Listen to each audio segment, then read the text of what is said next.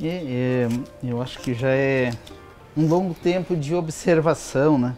Então, muitas espécies eu não preciso mais de recorrer a uma fotografia né, ou, um, ou um livro de identificação.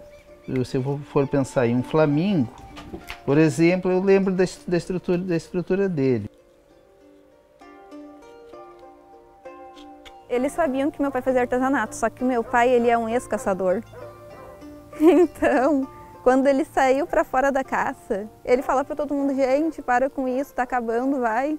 Ele, ele virou um ativista da natureza, entendeu? Né, porque é um apego, eu, eu quero ter elas perto de mim, né?